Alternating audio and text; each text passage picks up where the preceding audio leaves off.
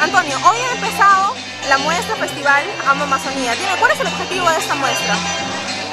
El motivo es de dar a conocer la riqueza y la belleza de Amazonía, lo importante que es y para provocar amor, para informar a la gente, para que sepa lo importante que es y generar cariño y mucho amor para la Amazonía, nuestra madre naturaleza. ¿Eso tiene algo que ver con los incidentes que hubo hace poco en la selva?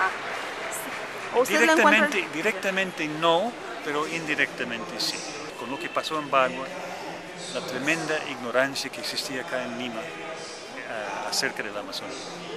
Es un, para los limeños es un mundo muy lejano que no entienden bien y bueno, nosotros pensamos, eh, digamos, empezamos a soñar antes, pero con lo que pasó en Bagua nos parecía urgente.